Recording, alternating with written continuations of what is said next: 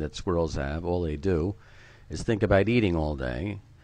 And they, there's a lesson about squirrels. Um, as small as their brain is, um, they can focus on a single project, a single challenge, and that is to get the food from the bird feeder.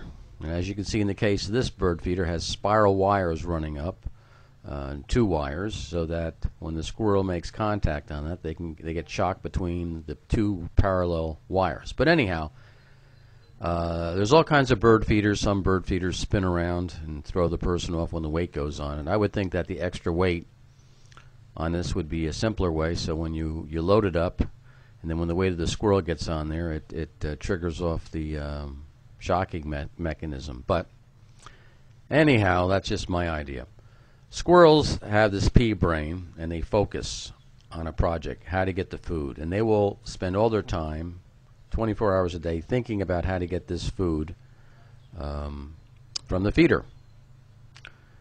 And there's a lesson there in that no matter what our mental faculties are, no matter how smart or dumb we are, anybody, if you spend enough time thinking about a problem, if you think enough about that problem, um, you will come up with a solution It's just a matter of investing enough time as to how to overcome the problem. Now, probably what will happen is the squirrels eventually will drop down and hang on to that little perch, and while they're holding themselves up from there, then they will then they will eat the uh, the bird uh, seed. So this is almost like when you're dealing with um, microorganisms you can put all kinds of fungicides and stuff, but eventually a a bacterium will learn how to survive or will evolve so it can survive whatever it is, and now it's even stronger. So, my hat's off to you, Kevin. This is a great project, and I think it's going to sell millions, and I hope it does.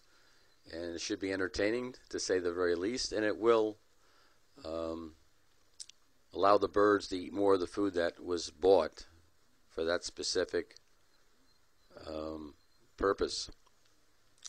Um, it's a great product, and um, I think you'll do well with it. So my hat's off to you, Kevin. God bless you. You've done it again. A home run. Take care.